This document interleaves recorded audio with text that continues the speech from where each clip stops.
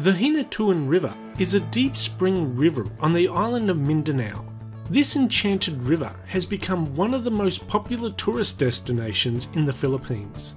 It earned its moniker Enchanted River after being described in a poem written by the diplomat Modesto Farolan. The Enchanted River is a magical stretch of water meandering 648 metres between the Philippine Sea and the Pacific Ocean.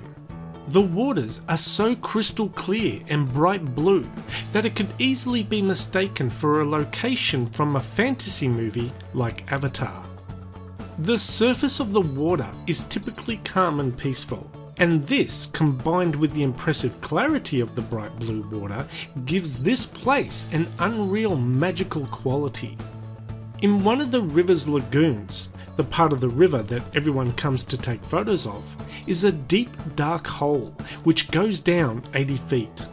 The deep hole leads into a subterranean cave system. Exploration of the caves has continued to this day, but remains largely unmapped, which further adds to the mystique of this wondrous place. Another somewhat mysterious aspect of the Enchanted River is where do all of its fish come from?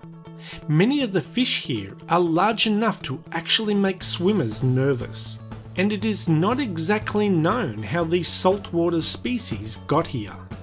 The fish are a popular attraction, especially during the daily feeding times that take place here. Every day at noon, a bell is rung, which is the signal for all swimmers to exit the water. When everyone is out, a tune called the Hymn of Hinatuan is played over loudspeakers, upon which a large school of fish seem to materialise out of nowhere on cue. Staff members then throw rice, minced meat, shrimp, octopus, and other scraps of food into the water. This keeps up for about an hour, during which time no one is allowed to enter the water. When the feeding time is over, the vast number of fish proceed to simply vanish, as if they were never there. The river is rich in folklore and tales. The pristine blue water is said to be kept clean and clear by various spirits, fairies, pixies, and other mystical creatures, which also act as guardians of the river. The spirits are said to be most active at night, and that they will attack or chase away anyone who comes to bathe here after dark, with many inexplicable drownings in the river being blamed on these supernatural entities. This superstition is so strong and pervasive that the river is off limits after dark, and even during the day, some areas are not accessible probably just for the visitor's safety, but some say because the river spirits are especially aggressive in those areas.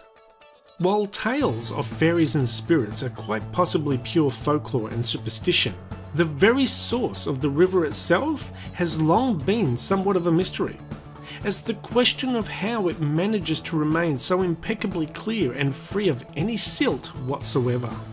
One suggestion is the water is filtering through limestone, which would remove impurities and produce the crystal clear water.